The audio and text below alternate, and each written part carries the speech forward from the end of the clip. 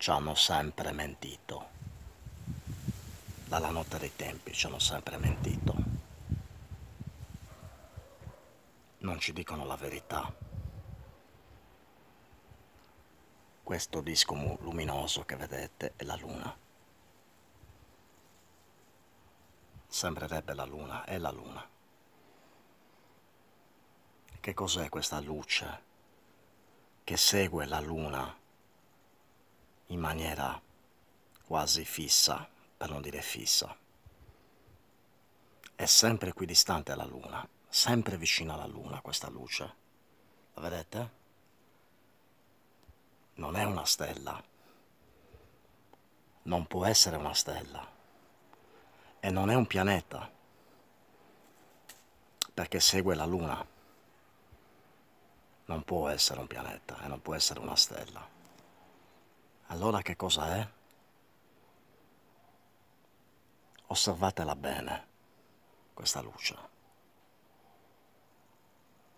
È molto molto intensa dicono che sia Sirio, ma è impossibile, non è Sirio, perché la luna prima era più in basso all'orizzonte e c'era sempre questa luce vicino a lei.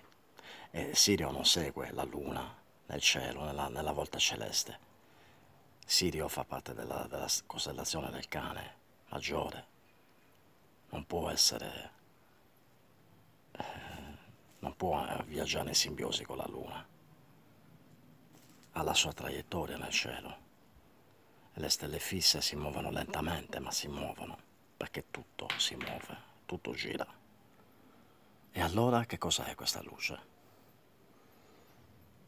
E questa luna così luminosa, che cosa è? Sembra quasi un faro, sembra quasi un proiettore. E se fosse un ologramma? Ma noi lo sappiamo veramente se è la luna autentica, se è la luna quella dipinta dagli antichi, nei pittogrammi, nei geroglifici, nei simboli cuneiformi.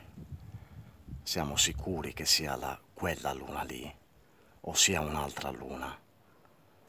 Dovete sapere che le fasi lunari dipinte dagli antichi nelle antiche scritture erano completamente diverse, completamente. E quindi non poteva essere questa luna, qualcosa è successo, qualcosa ha modificato queste fasi lunari. Noi non lo sappiamo, noi non sappiamo tante cose. Ci sono ignoti secoli, per non dire millenni, per non dire milioni di anni.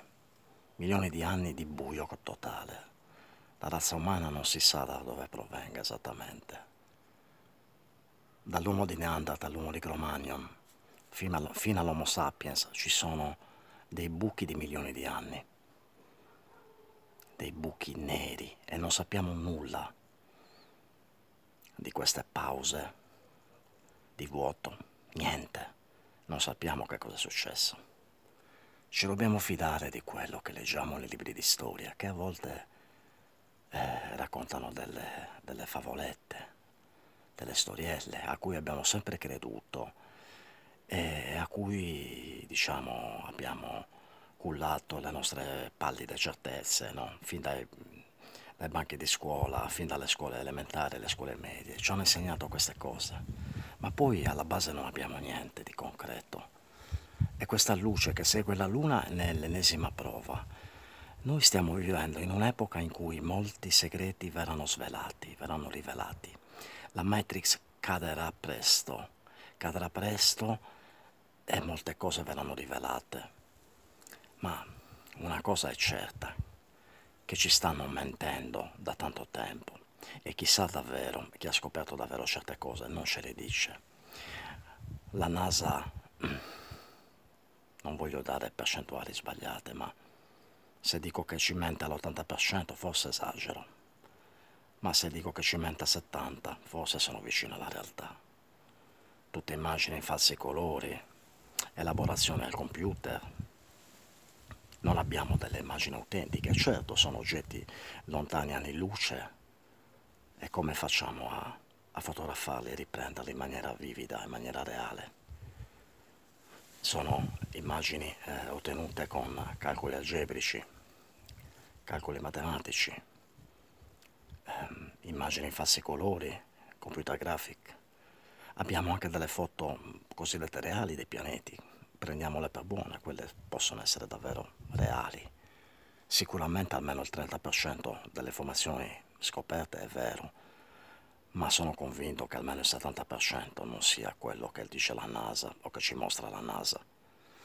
Non sappiamo nulla del nostro passato e quello che vediamo eh, sembrerebbe sempre la Luna.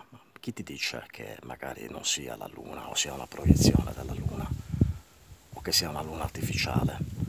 Che cos'è questa luce che segue la Luna? Una stazione spaziale?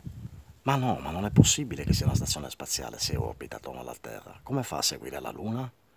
Orbita attorno alla Luna?